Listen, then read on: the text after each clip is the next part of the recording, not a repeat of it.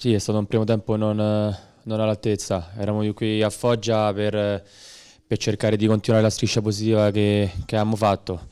Però loro hanno giocato meglio, hanno avuto più supremazia, hanno avuto possesso palla, poi hanno, hanno trovato due gol e, e, si è messa tutto, tutto in salita anche dopo l'espulsione. Nel secondo tempo abbiamo provato a reagire, però era difficile contro un buon Foggia.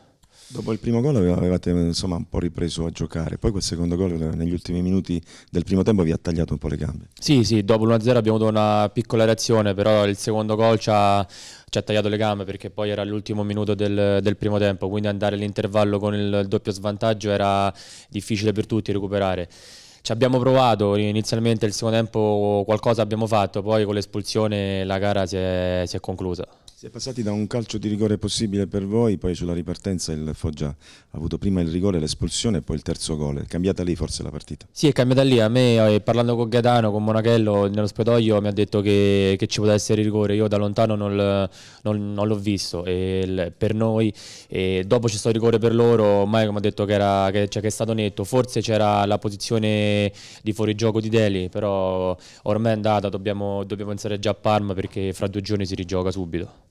Mm, dopo la striscia positiva vi fermate a Foggia, si ritorna a giocare già eh, in questi giorni, cosa cambia per l'Ascoli per questo continuo di campionato? Cambia che invece di 8 partite ce ne sono 7, rimangono 21 punti e calcoli alla mano dobbiamo cercare di fare 12 punti per arrivare sui 48-49 che penso c'è la salvezza matematica.